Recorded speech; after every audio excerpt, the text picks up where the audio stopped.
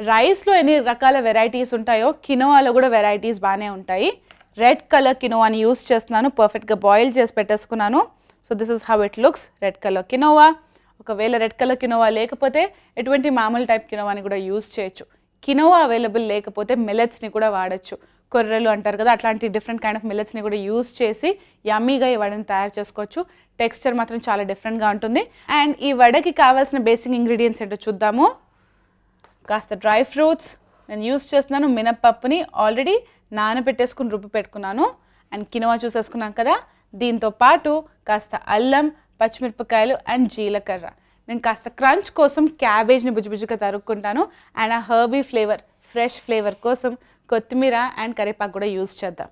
So let's get started first కాస్త క్యాబేజ్ని వాడేద్దాం.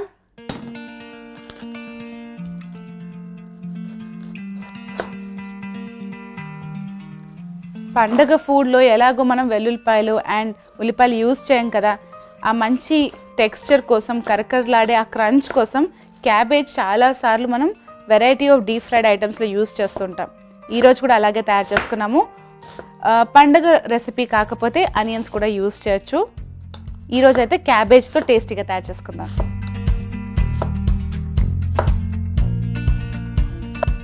రైట్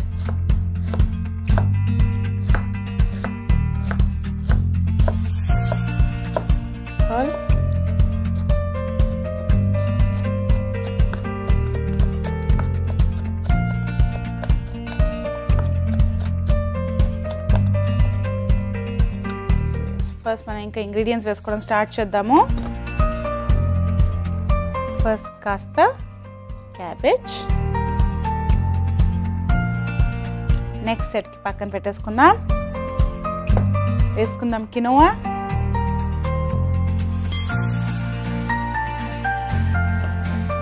అండ్ ఈ మినప్పప్పు పిండి.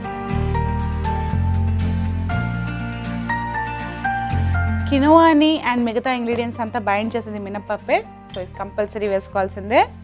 జీలకర్ర పచ్చిమిరపకాయలు కాస్త ఎక్కువగానే వేసుకుంటున్నా. నైస్ అండ్ స్పైసీగా ఉంటుంది. అండ్ అల్లం ముక్కలు. సాల్ మిక్స్ చేసేసుకుందాం.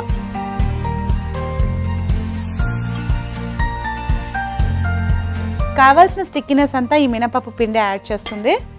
సో పర్ఫెక్ట్గా కలిసిపోయిన తర్వాత దీంట్లో కాస్త ఉప్పు కొత్తిమీర ఇవన్నీ కూడా యాడ్ చేసుకుందాం.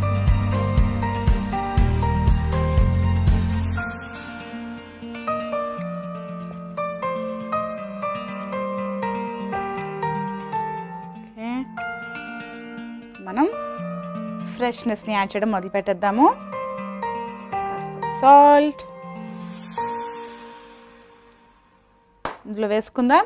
కొత్తిమీర అండ్ కరివేపాకు సన్నగా తరుక్కుని.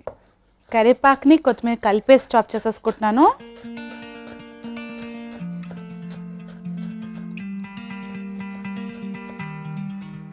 ప్రతి ఒక్క పండగకి ఏదో టైప్ ఆఫ్ వడల్ని మనం ట్రై చేస్తూనే ఉంటాం. కొన్నిసార్లు శనగపప్పుతోటి మసాలా వడలు అంటూ లేకపోతే వడల్లోనే బేసిక్ ప్లేన్ మినప్ప వడలోనే వెరైటీ ఆఫ్ ఫ్లేవర్స్ని యాడ్ చేసుకుంటాం. కానీ కినోవా ఇప్పుడు ట్రై చేయలేదు కదా? టెక్స్చర్ చాలా డిఫరెంట్గా ఉంటుంది. అండ్ మరీ హెల్దీగా మరీ బోరింగ్గా ఉండకుండా దీంట్లో మనం మిగతా ఫ్లేవర్స్ని కూడా యాడ్ చేసాం కదా. చాలా చాలా టేస్టీగా ఉంటుంది.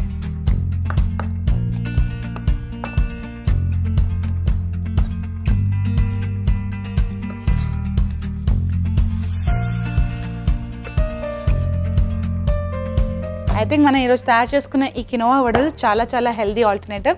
ఇంట్లోనే తయారు చేసుకుంటున్నాం కాబట్టి ఆయిల్ ఎలాగో మనం జాగ్రత్తగానే యూజ్ చేస్తాము. And quinoa is very healthy డైజెషన్కి చాలా మంచిది.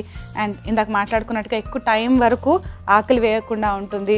అండ్ మినప్పప్పు is also very good for your bones మిగతా వెజిటేబుల్స్ అన్నీ కూడాను మంచివే. So it's a very healthy alternative పండగ పూట. ఓకే గట్టిగా కలిపేసుకున్నాము.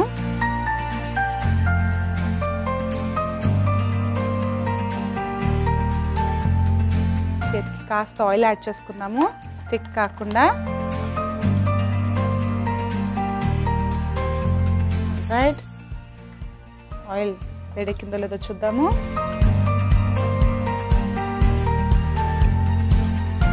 పర్ఫెక్ట్ ఫ్లాట్గా స్ప్రెడ్ చేసేసి అందులో యూస్ చేస్తున్నాను. బోల్డ్ అంత లీఫీ వెజిటేబుల్స్ని యూజ్ చేశాను కాబట్టి చాలా అందంగా కనిపిస్తోంది. మంచి క్రంచ్ని కూడా యాడ్ చేస్తుంది. మనం తయారు చేసుకున్న ఈ కినవో వడల్లో మనము పసుపు కానీ కారపొడి కానీ యూజ్ చేయలేదు కాబట్టి ఆ డార్క్ కలర్ అంటూ రాదు. ఇలా beautiful almost all brown colour and ఈ బ్లాక్ డాట్స్ లాగా మనం తయారు చేసుకున్న రెడ్ కినోవా బ్లాక్ డాట్స్ లాగా కనిపిస్తూ ఉంటుంది. దిస్ ఇస్ డన్ ఇంకా డైరెక్ట్గా మనం ప్రెజెంటేషన్ చేసేసి టేస్టింగ్ చేసి చూద్దాం ఎలా ఉంటుందో.